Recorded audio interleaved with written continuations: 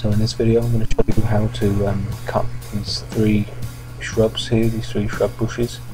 Um, first thing I want to say is that all of these tips I'm going to give you are just things that work for me. They're not by the book, you know, they're um, just things that I've picked up over the years and been told, you know, by my dad.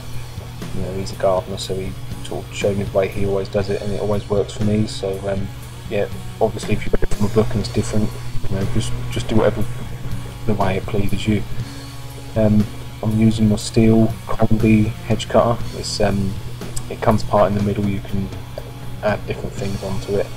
Um, I like to use it because it's, it's versatile. You know, I can cut big tall hedges with it, big wide hedges with it, and even small bushes. Um, one problem it does have is that you struggle to get inside and about um, sort of small shrubs. You know, you sometimes do with a, smaller, smaller handled hedge cutter, but um, this one works fine for me. So these bushes, you can see, I've not. This isn't the first time I've ever cut them into this shape. So if you are wanting to get into sort of a square shape like this, you um, first thing you're going to need is a bit of patience. It's not going to be something that you know you can go into a hedge straight away and just start cutting to this shape. You might have to um, build them out a little bit and just um, obviously the only way to do that is to wait for them to grow out a bit. Um, I think the first time I ever cut these they were just circles um, so the lady I worked for just asked for something different so I decided to put a few edges on them. Um, the way I do them is start at the top, always start at the top, um, putting a bit of a flat edge on the top of them and work my way down. And the reason I do the top first is so that any uh, rubbish I make on the top um, eventually by the time I've got to the bottom of it sort of falls through um, with all the vibrations on the bush. Um, if you start from the bottom and work your way up I'll find that the, uh, the rubbish will sort of sit on top of the, the bush after you finish cutting it.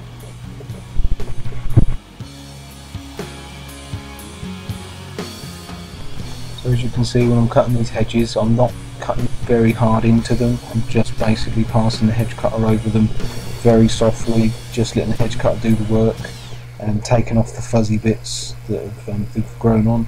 So this, I'll probably cut this probably last five months ago, saying five months ago. So obviously through the winter it hasn't grown much, but um, yeah, it's just one of those that you just need to get in and just keep tidy. It's important as well to keep the backs of them looking tidy. Obviously you can't see the backs of them from the um, from the front of the garden here, but it does help the growth all the way around if you keep the bushes looking nice and tidy. You don't really want the bush concentrating on the back. You, know, you don't really want it growing out of the back. If you keep it all nice and tidy, that tends to um, fill up nicely all, all the way around. Um, you can see I'll grab my steps here because I always find it's easier to cut these. They're not massive, but when you get to uh, the top of them, you could you could easily sort of stand on the floor and lift your hedge cutter above your head. But it's so much easier on your shoulders. If you've got a small pair, pair of steps and you can just put them up and just just hop up there and uh, yeah don't don't always have to um, overdo yourself. I mean these these hedge cutters fairly heavy but it's um, being nice and long like this you spread the weight a little bit. But you don't you don't need to go to the gym after a day like today because your arms are just uh, constantly constantly at it.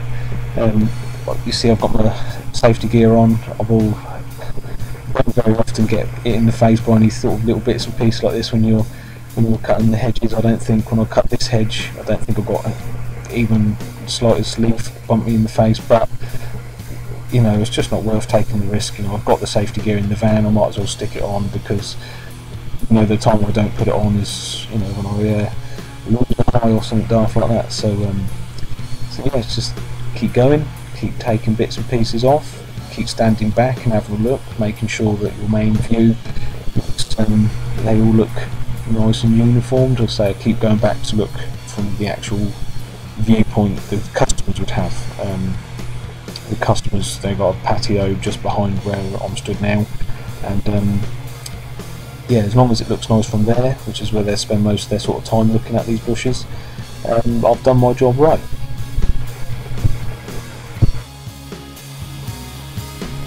So that's the basics, you know, um, not too much off at a time, start from the top, work your way down, And I think one of the main things is when you think you've got it, just leave it.